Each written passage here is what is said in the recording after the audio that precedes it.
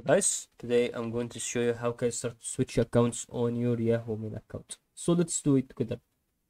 What we can do just to follow, so make sure you understand guys everything. So that will be always important to help you today on this video. So all you have to do just to focus and let's do it.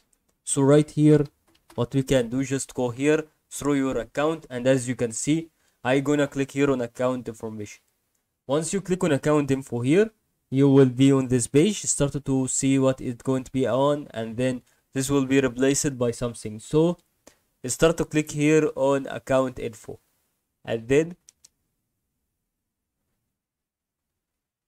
after you do that you will click on account info here and then as you can see i can have this in front of me. So then after you do that also you will start to have a part that will help you in this page so what we can do is just to go here on this account again and right high corner and click on switch accounts. Then add switch accounts. Then as you can see you will find your email address will be here.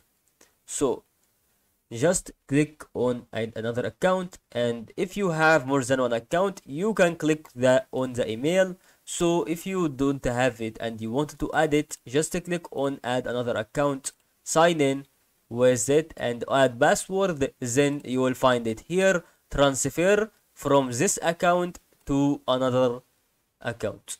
And that is all to help you today